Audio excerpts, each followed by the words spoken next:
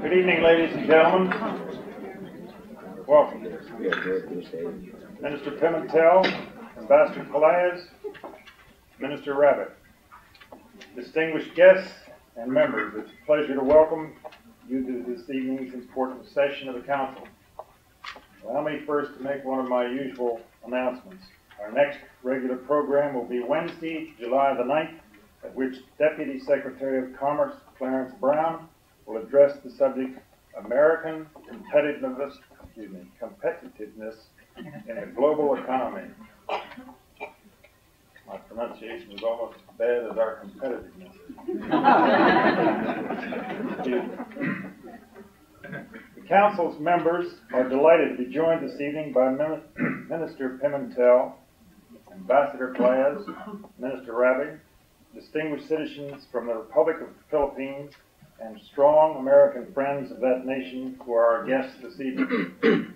we all wish the Philippines well as it wrestles with the economic, social, and political problems. We do so as long-standing friends with very special historical ties. We are sensitive to the difficulties confronting the Republic of the Philippines and therefore are deeply interested in the subject of political change in the Philippines. We are honored to have with us this evening to discuss this theme the Philippines Distinguished Minister of Local Government. Among his particular responsibilities are the issues of replacing Marcos Mero and gubernatorial appointees and the communist insurgency. He has a special position in the future of the Philippines as chairman of the Filipino Democratic Party, Laban, and as a longtime political associate of the late Senator Aquino. Minister Pimentel is a former dean of the Ateneo Law School, a Jesuit institution in Cagayan de Oro, a longtime opponent of the Marcos regime. He was elected to the Constitutional Convention in 1971 and jailed in 1972 for two years upon Marcos' declaration of martial law.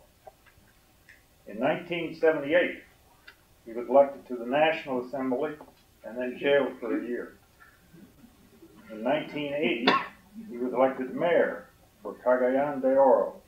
In 1981, he was removed by Mr. Marcos, but was reinstated after popular protest. He was elected to the National Assembly in 1984 and shortly thereafter removed by Mr. Marcos. In 1985, he was jailed upon returning from the United States after addressing the Council on Foreign Relations. In 1982, he formed the Filipino Democratic Party, which was consolidated with remnants of Mr. Aquino's Laban Party. He has been chairman of the Filipino Democratic Party Laban, the party of Mrs. Aquino since that time.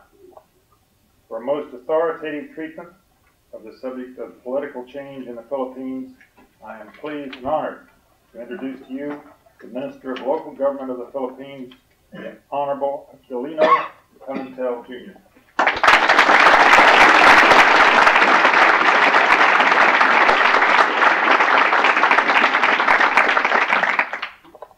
Thank you very much, Mr. Patterson, for your kind uh, introduction. You mentioned that I was jailed upon my return to the Philippines after addressing the Council on Foreign Relations, and uh, it does make me apprehensive. but I want to address the Council on Foreign Affairs, but there's a difference. The Council on Foreign Affairs, that one was Foreign Relations, I suppose. Uh, times have changed also back home, and maybe I can go home uh, without being jailed.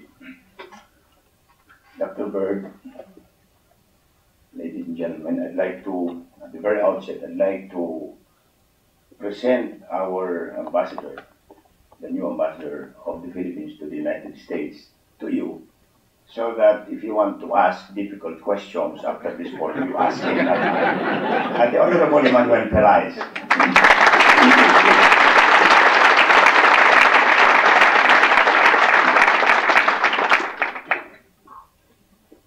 Ladies and gentlemen, I am sure that you have read much about the new Aquino government in the Republic of the Philippines. And I'm sure you have seen extensive footages of people power, that revolution, joyous and bloodless, that unseated the dictator and installed the present dispensation in my country. Yet, what I have to tell you now concerns the succeeding days after the euphoria, after the rejoicing, comes the inevitable task of rebuilding a shattered economy. As a cabinet member of the barely four month old Aquino government, I would like to give you a first hand account of the current Philippine situation, its past and present problems, and our hopes and aspirations for the years to come. Briefly stated, the tremendous tasks the Aquino government has found compelling are 1 to revive an economy laid waste by the plunder and greed of the past government. Number two, to reform a political institution prostituted into serving the needs, whims, and caprices of the deposed first couple and a few privileged families. And number three, to participate with dignity in the affairs of nations particularly with those countries in the Pacific Basin and Southeast Asia. Allow me to discuss these tasks in reverse order. As far as the countries in the Pacific Basin and Southeast Asia are concerned, economic growth has averaged 7.7% annually. These countries, specifically Japan, Korea, Hong Kong, Singapore, Malaysia, Indonesia, Thailand, the Philippines, and Taiwan are now the largest external market for agricultural produce of the United States. They are also the major suppliers of industrial raw materials of the United States. More particularly, seven of the top 20 trading partners of the US come from this area. Japan ranking second, the ASEAN countries ranking altogether fourth, Taiwan sixth, and Korea seventh, which only goes to show the growing importance of the region in the global economy. It is with this in mind that we would now focus on the only country in the region that has not performed at par with all the others, and that is my country, the Philippines. Among the ASEAN countries, the Philippines sticks out as a basket case of mismanagement and structural defects. The economy totally collapsed in 1984 when a 5.5% negative growth was registered and inflation soared to 50%, fueled by the combination of all the adverse economic factors, severe debt crisis, high interest rates, capital flight, foreign exchange shortage, and labor unrest. All this was triggered by the murder of Senator Benigno S. Aquino Jr. in 1983. But the event only served to accelerate the inevitable. The economy has been largely propped up by borrowings and stopgap measures. What precipitated the growth of these problems and served as a stumbling block to any genuine economic reform was the widespread and large scale corruption perpetrated by the Marcos regime and the economic favoritism that was accorded to their close friends, or what has come to be known as cronyism. The result was a loss in business confidence, and for as long as Mr. Marcos remained in power, the problem could only continue unabated. But nothing remains permanent, and in the four glorious last days in February, the people with the aid of a reform movement in the military, took it upon themselves to end the dictatorship. Those were heady days, and many were the heartwarming incidents that took place. Allow me to recount two memorable ones. During the February 23 confrontation between tanks and unarmed civilians, an old lady knelt in front of the tank and implored, implored the soldier on top not to attack. The soldier went down, embraced the woman, and as his tears flowed, said he could never do such a thing because the woman reminded him of his mother. Another incident, which many considered a miracle, took place at dawn the following Monday. Marines advanced to less than a kilometer of the besieged reformist camp and threw tear gas canisters at a small crowd barricading the way. Many wavered, a few courageous souls stood fast, and when all seemed lost, the wind miraculously changed direction, and the tear gas blew towards the soldiers, forcing them to retreat. Of such courageous and miraculous feats was the Philippine Revolution of 1986 made. And now the task that lies ahead is to lead the country away from the economic morass of the decade long dictatorship. And what have we inherited from this dictatorship? It remains difficult to quantify the extent of the damage done, but just to give you an idea, here are some mind boggling facts. Hmm. Number one, when Marcos came to power in 1966, 28% of the Filipinos lived below the poverty line. In 1975, this increased to 46%, and today it's 70%. Number two, real unemployment is from 15 to 20%, and the underemployment rate is 35 to 40%. Number three, manufacturing capacity of the Philippines is less than 50% utilized. Number four, our agricultural sector has not prospered under years of artificially low market prices. After 20 years, we can barely feed ourselves, and in some areas, the young children are experiencing severe malnutrition for the first time. Number five, our debt service payments for interest alone soared to US $2.5 billion, more than 50% of our export earnings. As far as external debt is concerned, we rank seventh in size, sixth in debt to service ratio, fourth in debt to GDP ratio, and ninth in debt service ratio. The drag on the economy's capacity to grow is exacerbated by the fact that most of the loan financed projects were unproductive. Number six, to make matters worse, we have incurred a major deficit during the first quarter of this year because of fiscal excesses during the elections. Initial estimates indicate a massive budget deficit of 40 billion pesos for 1986 which is three times the 1985 level, unless drastic measures are taken both to increase tax revenues and reduce the funding requirements of government financial institutions. With such formidable economic problems, our development planners have agreed that the best solution is an overall economic program that emphasizes countryside development and agribusiness ventures. I have been informed by our development experts that Taiwan can serve as a model for agricultural growth and diversification that will in turn be balanced by our medium scale, labor intensive industrial base.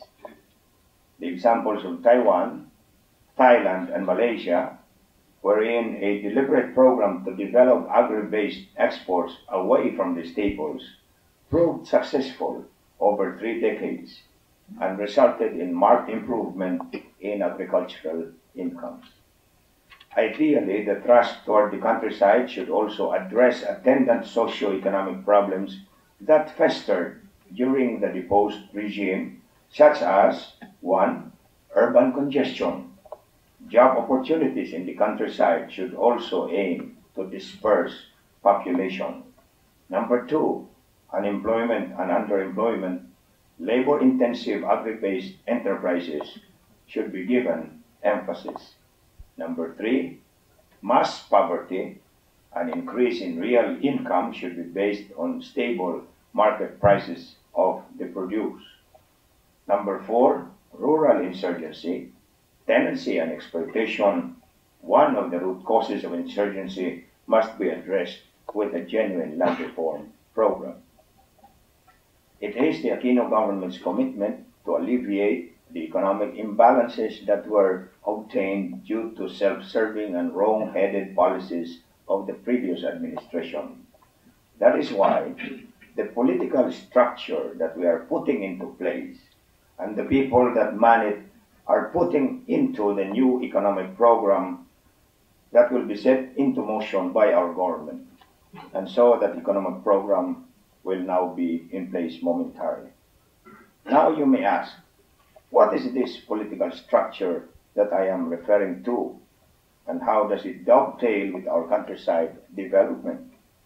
The answer is found in the exploitative structures set up by the dictatorship and the cabal of cronies, bureaucrats, and petty officials who conspired with him.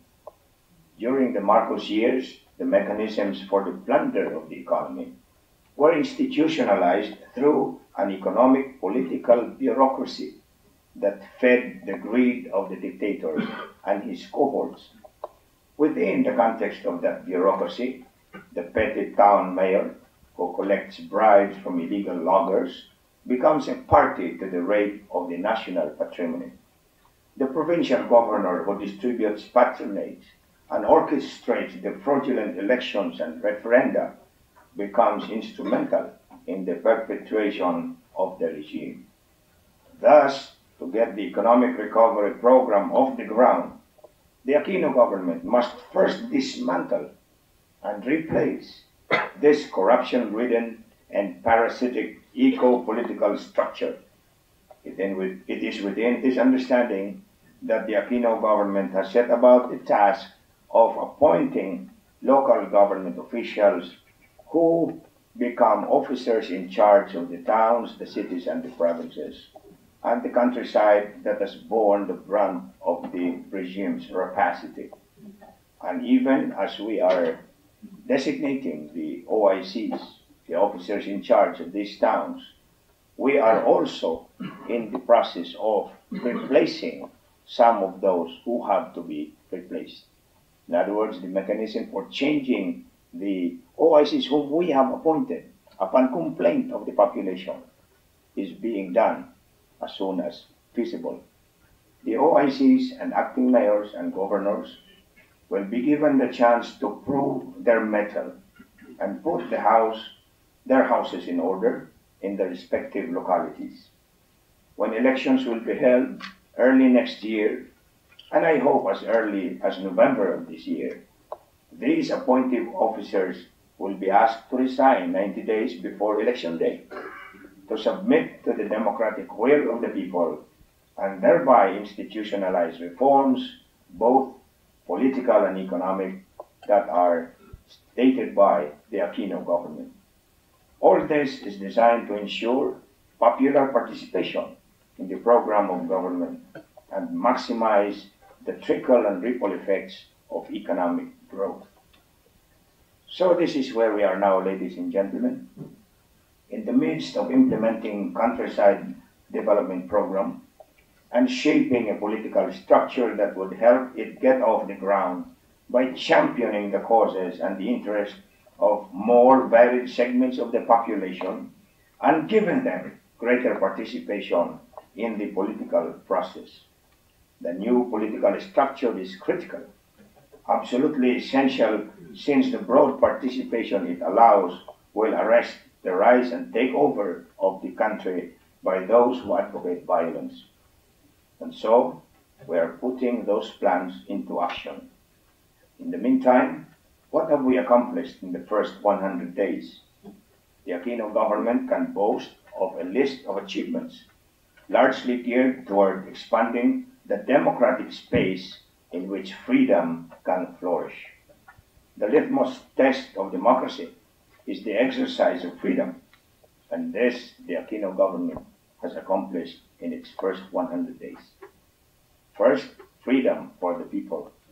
The Aquino government has restored human rights and has dismantled the apparatus of terror that the Marcos regime operated. Number two, freedom of the press. Our press is once again the freest in all Asia. And I'd like to add, uh, I'm not very happy about that, but uh, this is one thing that we must allow in a free society. We would rather have a free press than a silenced one. Number three, freedom of the farmers. We have broken up the cartels that have controlled the price of farm produce and kept farmers in virtual bondage. Number four, freedom for the working class. We have restored all the rights of labor and have established new mechanisms by which disputes may be settled. Number five, freedom even for the military. The revolution renewed the bonds of the soldier with the people.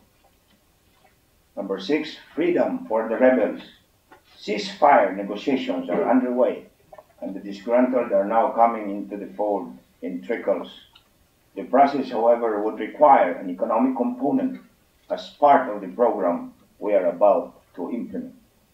And number seven, freedom for the economy.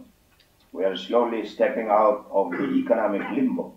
Our foreign currency reserves have increased to US 1.1, 1.7 billion dollars, 85% over uh, the last 100 days.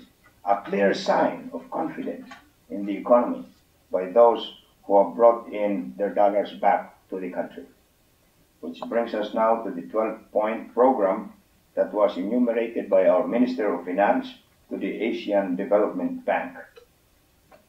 The 12 point program of priorities is as follows. One, we will continue to strengthen our foreign reserve position and maintain a competitive exchange rate for the peso.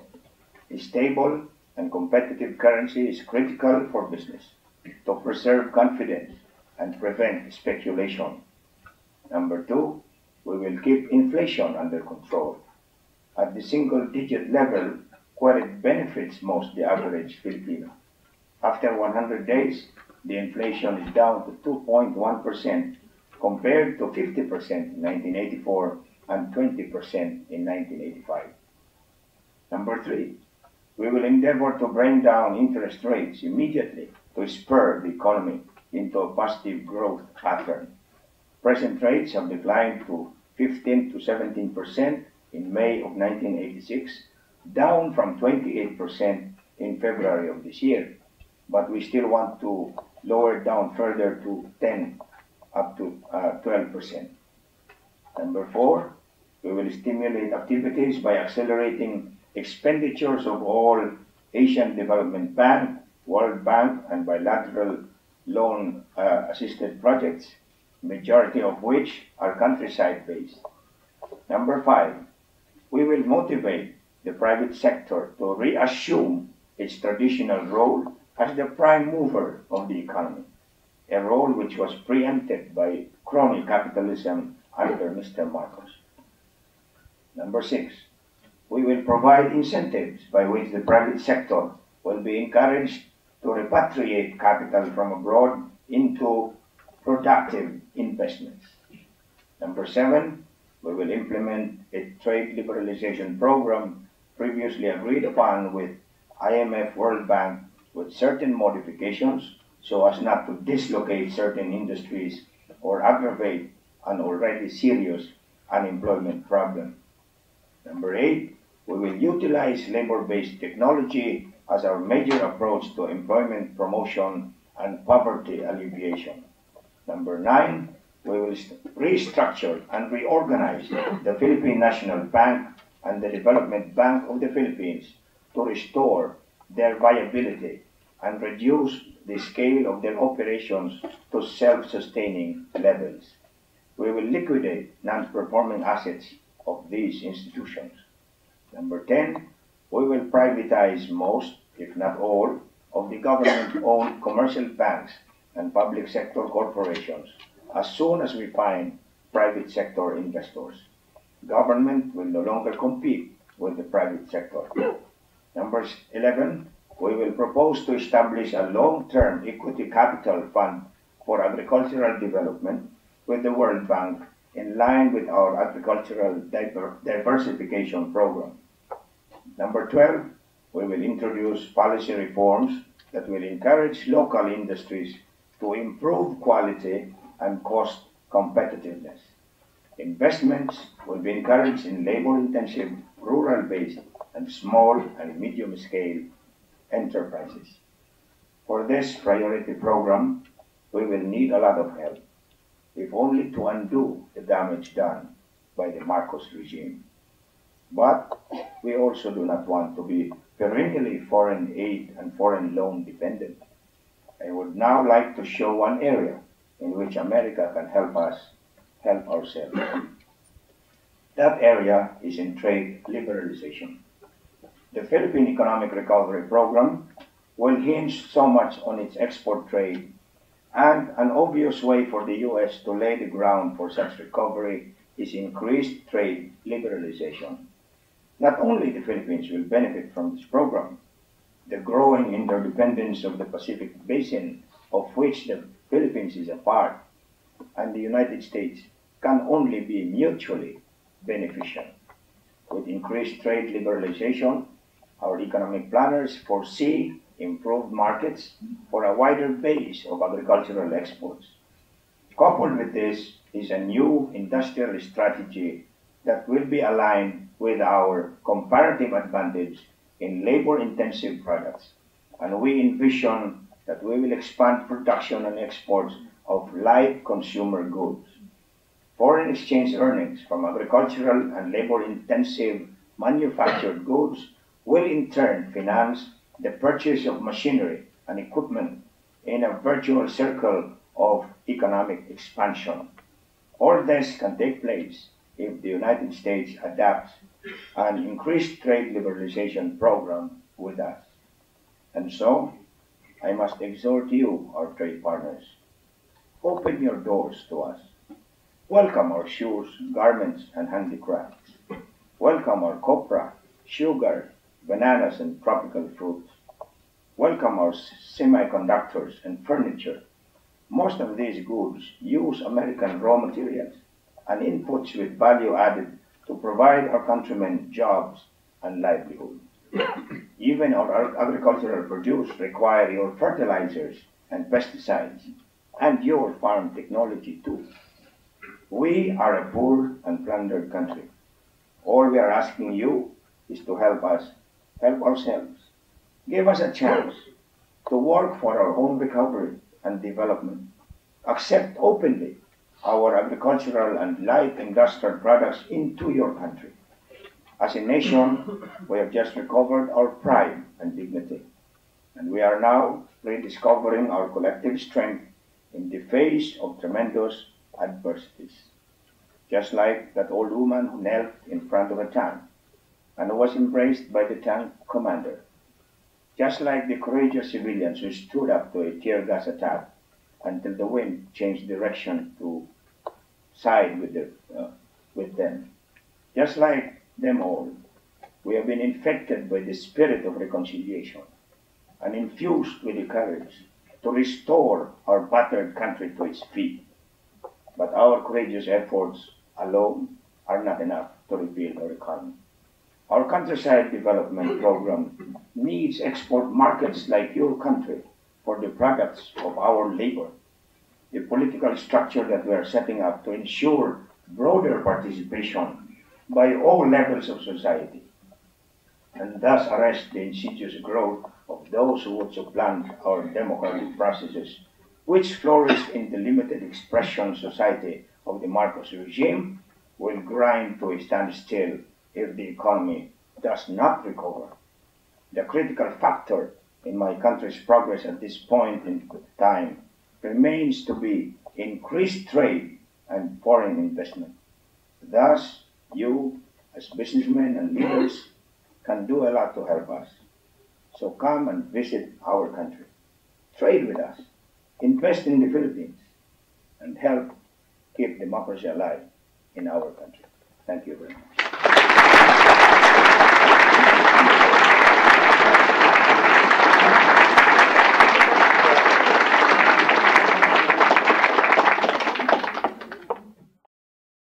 Yes, ma'am. Um, you don't mention overpopulation or population control as a problem. Is it a problem in the Philippines?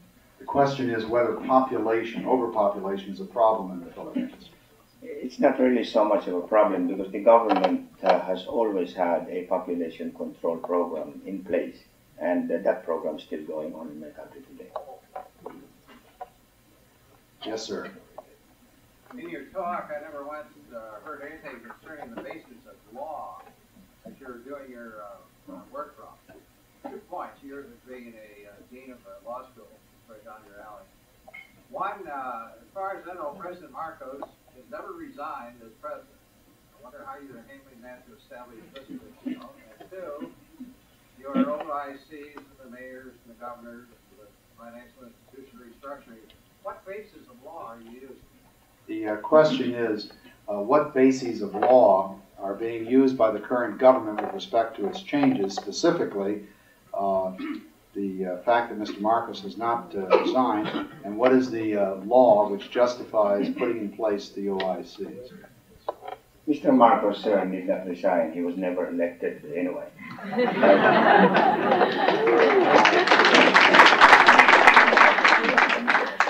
Uh, in effect, what I'm trying to say is that if Mr. Marcos was in power, it was because of fraud and violence which his government perpetrated upon our people. And so, when he was ousted by people power uh, during the last February, uh, during the February uh, revolution, the accession of Mrs. Aquino is not so much based only on the four days of the revolution, but the fact that she was duly elected as president of our country, but was cheated only in the counting uh, done by the Batasang Pambansa, which is the, the parliament in our country. And uh, you are asking me what basis of uh, law are we using in the replacement of the uh, former local incumbents. Let me tell you, sir, that the local incumbents, uh, the mayors and the governors, were elected to a six-year term here on uh, March 3, 1980, and therefore six years thereafter is March 2nd, 1986. So by the time I got to be Minister of Local Government, the terms of office of all the uh, locally elected officials had expired, and therefore they had no legal right to cling onto power one day longer. And so the law of necessity took over for us to replace them because by necessity we had to replace them for the reason that uh, Mrs. Aquino had to have a local base of support in order to make sure that her policies and programs would be implemented down to the lowest levels of government.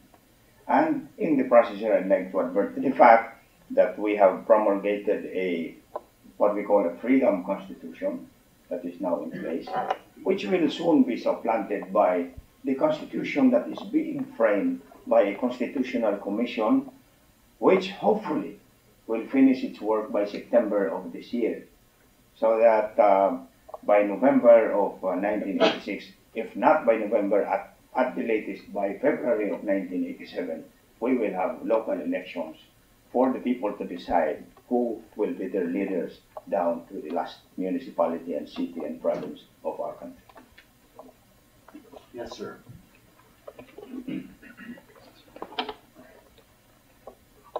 embrace the Philippine spirit, achieving democracy, Filipino and Philippine people, wonderful experience. I don't want to be critical, because I'm not going to go into my own sense of Philippines can be to America the way Taiwan is to America. And certainly Philippines deserves better recognition. My question is, says, uh, how are you going to handle the military? You have the military that seems to run its own show. They,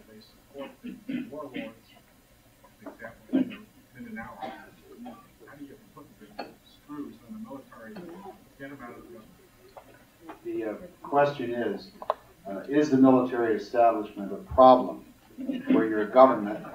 And uh, if so, uh, what are you going to do about it? I'd like to assure you, sir, that uh, Mrs. Aquino is in full control of the situation in the Philippines, including the military. She has been accepted by uh, the military establishment as their commander-in-chief, which he is. And uh, regarding the dismantling of the warlords you speak about, particularly in Mindanao, we have already started to do that. One of the most notorious cases is the case of a governor in Lanao del Sur, whom we replaced, and for a time he refused to relinquish power. Well, we booted him out uh, without too much problem after a few shots were fired, of course, but um, not, uh, not too much difficulty after that. In other words, Mrs. Aquino is gradually but forcefully asserting her leadership over the military, and uh, we do not see any problem regarding that matter. Yes, sir. Problems you presented, the things you're working on are all very short term in a way compared to the powwow money. You mentioned nothing about the education problems in the Philippines. What kind of educational system had you? How do you propose to enlarge it that you can become a true democracy? Uh, With respect to longer-term problems, would you comment upon uh, the educational system in the Philippines as it, particularly as it may support the evolution of democracy? Yes, um, the educational system in the Philippines is largely patterned after the American system. So we have um, English right from the first grades all the way up to college. And uh, we have a public sector in our educational uh, system which allows students to uh, get uh, education up to the university level at um, minimal costs. But we have also a very strong private educational system. And uh, most of the schools, which are uh, quite famous in our, in our country, uh, are run by Jesuits. Uh, I do not apologize for that because I am a Jesuit product myself. But uh, that is a fact. And so we both have a pub- public sector and a private sector running the educational system. And uh, I think the new Minister of Education is trying to, uh, you know, redo the curriculum for all these uh, educational institutions so that we will have, uh, you know, uh, courses on uh, democratic practices and democratic theories, which will help sustain our democracy in the country. Yes, sir. Will you support uh, opposition party candidates fielding their tickets during your upcoming uh, elections? And uh, if so, under what uh, limitations may, may these tickets be uh, presented? The question is, will opposition parties be allowed in the upcoming elections? And if so, under what conditions? The opposition parties will all be allowed to participate in the elections. No conditions attached. Uh, the only condition probably will be for them not to advocate the use of violence. But aside from that, everyone will be welcome to try their luck in the political arena. Including Mr. Marcos. Uh, Mr. Marcos will have certain problems because he's facing uh, numerous cases which might effectively prevent his coming home. I think you were next, Mr. Blumberg. Two very short questions. One, is there any parallel between, uh, Mrs. Aquino's former husband's trip into the hills to invite Luis Taruc to come back and her current efforts to try and bring the, uh, an end? And the second very short question, is there any, uh, land reform program? The uh, first question was whether there was any connection between, uh, uh. Parallels. Parallelism. was there any parallelism between the uh, efforts of Mrs. Aquino's former husband to uh, reconcile problems with the communist insurgency and Mrs. Aquino's uh, efforts to do so? The second question was whether there was a land reform program under consideration. Well, for a short backgrounder, um, the, the late Senator Benigno Aquino, when he was still a, a cub reporter of a newspaper in the Philippines, negotiated the surrender of the uh, Huk Supremo, that's the, the communist uh, commander in the 1950s, and uh, he was able to bring him down to, to make him surrender. And so um, I think that there is some parallelisms here. Mrs. Aquino uh, believes in negotiating first, even with the communist insurgents, to try to make them come to the fold of the law. We believe in exhausting all possibilities before uh, shooting it out with our own fellow Filipinos.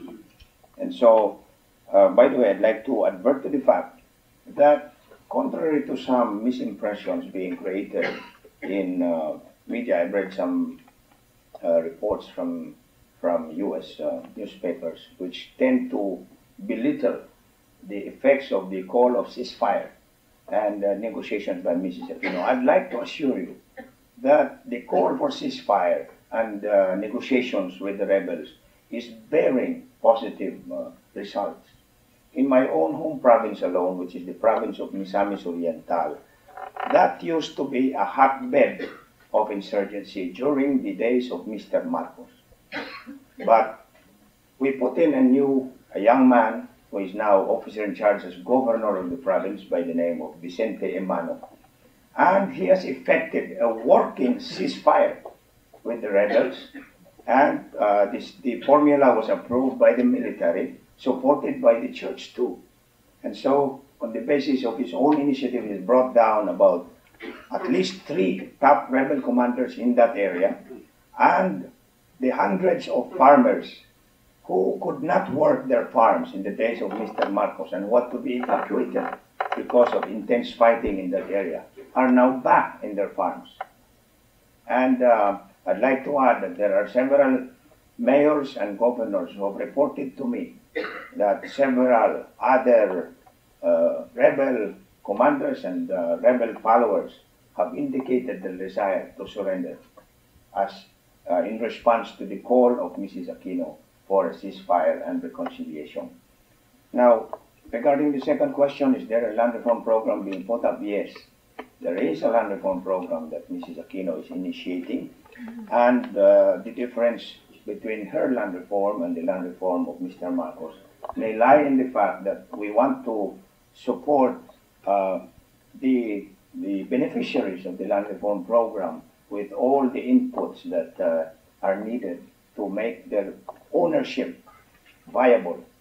Because our experience with the Marcos Land Reform Program was that after the so-called uh, uh, land reform program was put into effect and the land areas were divided, the, the tenants which got the land no longer got, uh, no longer received the support of the government, but in terms of farm inputs and other, other necessities to, to make their ownership viable.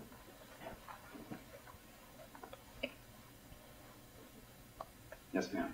Um, Mr. Pimentel, uh, has your program of replacing local officials reached into the barangays? Have you uh, started to replace barangay captains?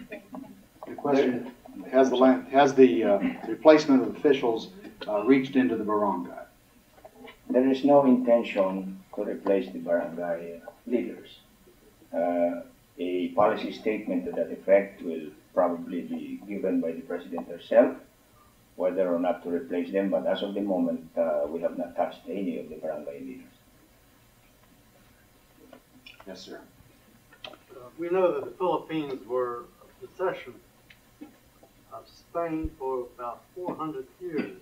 And of course, the Spanish culture, religion left a tremendous imprint on the peoples of the island. Yet we're also aware that a large minority are Muslim, and I assume a larger minority are primitive tribal peoples. Do you anticipate any problems, or how are you dealing with these minorities? The question is, are there minority problems in the Philippines which uh, trouble you?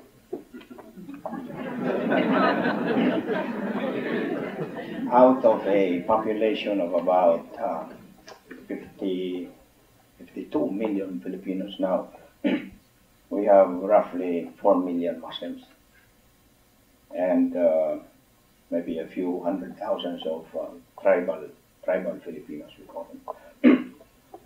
We are dealing with the Muslim problem uh, quite successfully, I think. We have established, of course, the Ministry of Muslim culture, Muslim affairs, uh, along with another ministry to deal with uh, tribal Filipino affairs. And uh, the, the real problem, if at all they'll start acting up again, would come from the so-called Moro National Liberation Front, which uh, fought the Marcos regime uh, throughout the long years of his incumbency. And uh, as of now, there is also an effective ceasefire between the MNLF, that's the Muslim National Liberation Front, and the Philippine government. And negotiations are going on to find a just and lasting solution to the Muslim problem in the Philippines. Yes, sir. Minister Pimentel, I have a very easy question. Uh, it's entirely practical.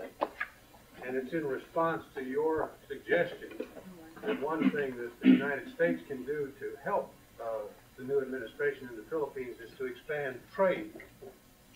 I don't have a lot of experience in trade with the Philippines, but I've been there a couple of times. And most of the trading companies and uh, industrial concerns and ministries of the government uh, claimed as evidence of their legitimacy in the past their close uh, Yes. proximity to President Marcos and his uh, group. I, I just wonder how uh, we can communicate now on trade issues with the Philippines uh, effectively, or whether that whole group has been dismantled or replaced and your comment. The, the easy question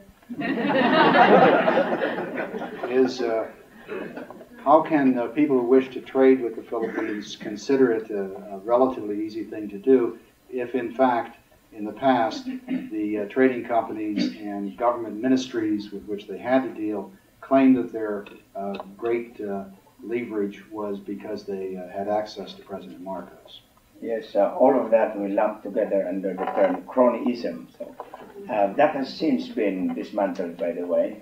The coconut monopoly uh, run by a crony of Mr. Marcos has been dismantled. The sugar monopoly run by another crony has been dismantled. And so have a lot of other business um, enterprises that uh, used to be associated by favoritism uh, with the regime of Mr. Marcos. As a matter of fact, maybe you've heard uh, that some of the shares of this uh, favorite few of Mr. Marcos have been uh, actually sequestered by the government. Yes, sir. Against the wall. One, one of the main problems that the big government around the graft and corruption is the government doing anything in this uh, matter? And my second question, for the Philippines people, the economy, really the government doing and doing something foreign investment? The uh, two questions are, first, what is the government doing to root out graft and corruption? And secondly, what is it doing to encourage foreign investment? Regarding graft and corruption, the government is waging a relentless fight against it in all forms. And I, I would uh, venture to suggest that uh, this effort is now succeeding as um, verified to me by some of our fellow compatriots who are living in the United States and who have gone back. Whereas before, upon arrival at the airport, uh, they would already be victimized by customs collectors or immigration officials. They don't see that anymore. It's no longer there. And uh, that is true also with all other government agencies. And the moment uh, anyone would report, report with some substantiation that a particular official is committing graft, then certainly that official will be put out by President Aquino. That is her commitment. Then secondly, regarding foreign investments, yes, Mrs. Aquino is encouraging foreign investors to come in into the country and uh, with guarantees of uh, profit and capital repatriation. Yes, ma'am, the corner. What, any, governmental steps do you have to alleviate some of the poverty and malnutrition, et cetera? What what uh, government structure and presumably government programs do you have to root out uh, the uh, health and poverty problems which you identified earlier? The health and poverty problems cannot be alleviated by only one ministry. It's a total effort of government. However, we have some ministries that are uh, actually uh, doing something directly and immediately to combat, you know, the problem of uh, sickness and poverty among people. We have the Ministry of Social Services and we have the Ministry of Health. But then again, ma'am, we, uh, these ministries are, of course, uh, you know, saddled by the problem of lack of funds and uh, the like. And that is why, in our talks with uh, the Filipino community here in the United States, we have stressed the fact that on their own they can already do something. We can send much needed uh, medical supplies and uh, medical facilities even to our country to immediately attack uh, the problem of health.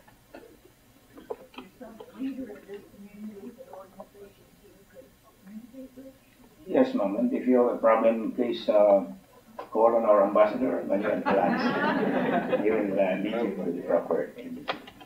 Yes, sir. Uh, does the uh, Aquino government desire to see a uh, continued strong American military presence in the Philippines, in particular uh, Subic Bay and the uh, large Air Force base?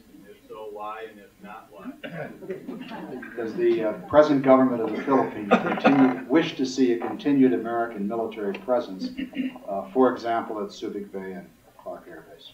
Mrs. Aquino's position, which she you know, explicitly stated during the campaign, was that she is for the uh, for the Filipinos to respect the existence of the military bases until uh, the term, the expiry date of uh, the contract, and then from there we renegotiate.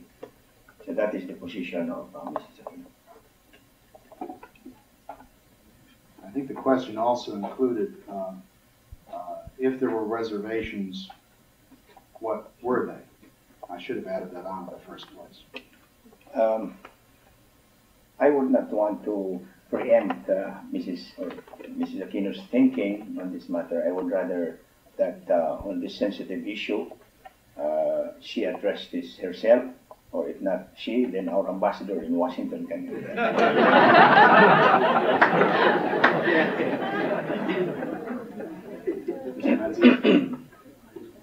Mr. Pimentel, I'd like to congratulate you. Um, I think it's a very fine exposition you made of your country. It's a very beautiful country. I lived there for six years, worked there, and enjoyed it.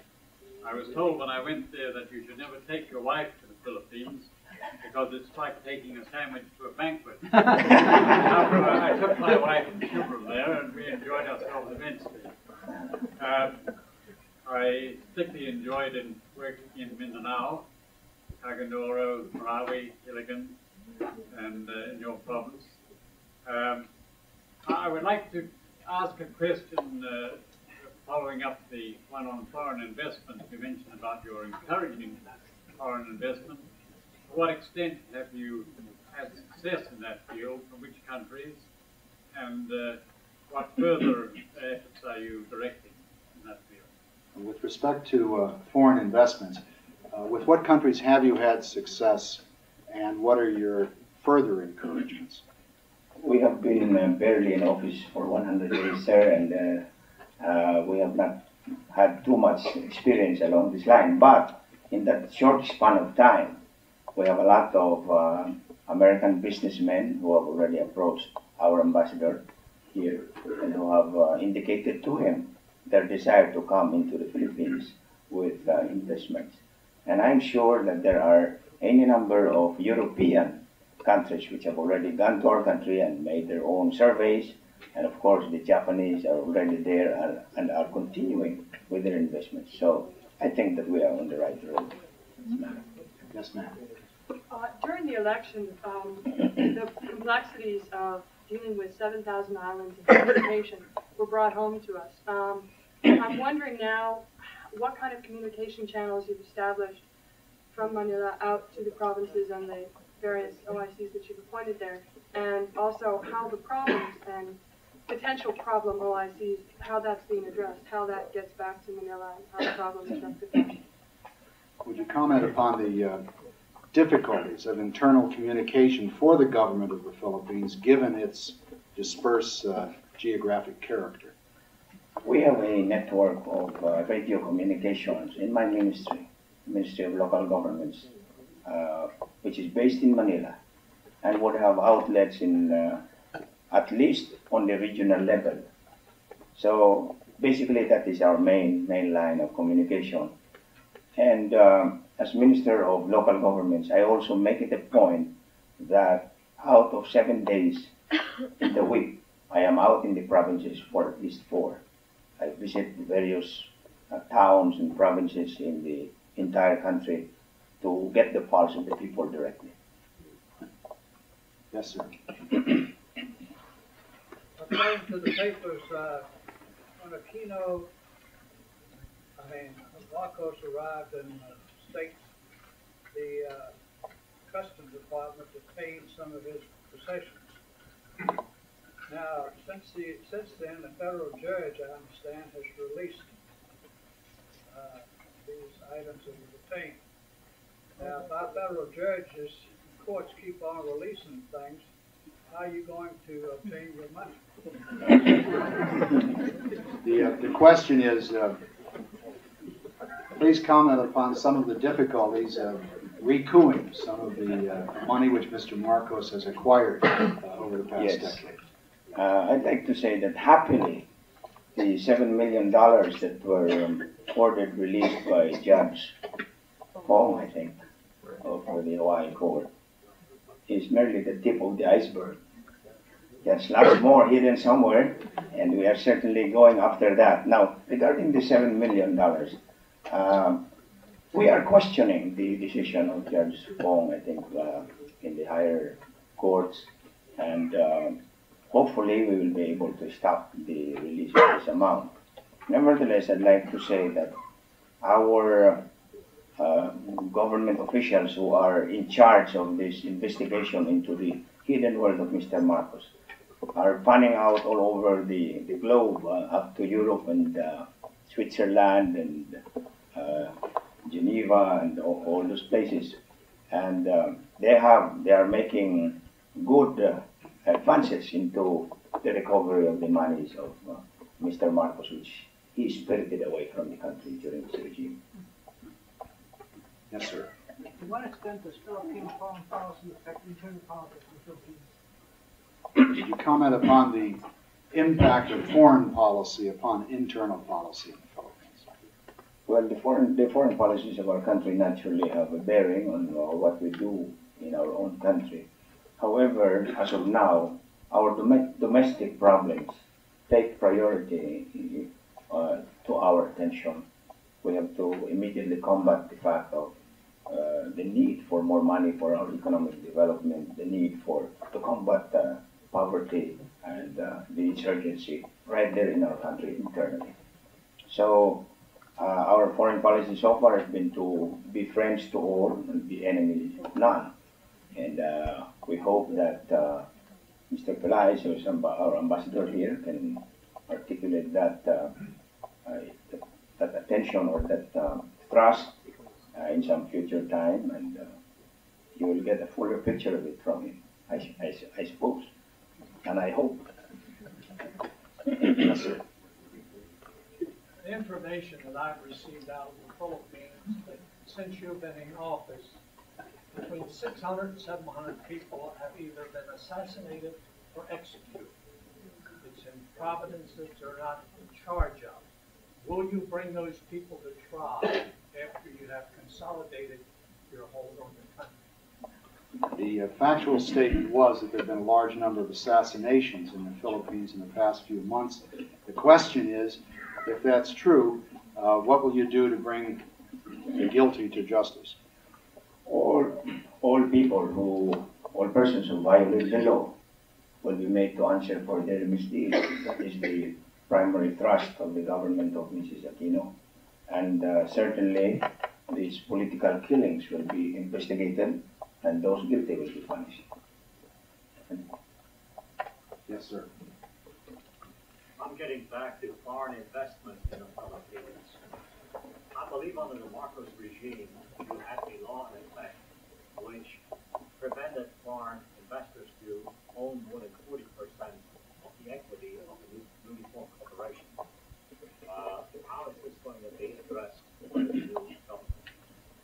the question pertaining to uh, foreign investment is, uh, will the present government be more relaxed in its restrictions upon foreign investment than was the Marcos regime? Specifically, the Marcos regime had a 40% limitation on ownership by uh, foreigners, uh, that is ownership in new companies, and will that be more liberal in the present regime?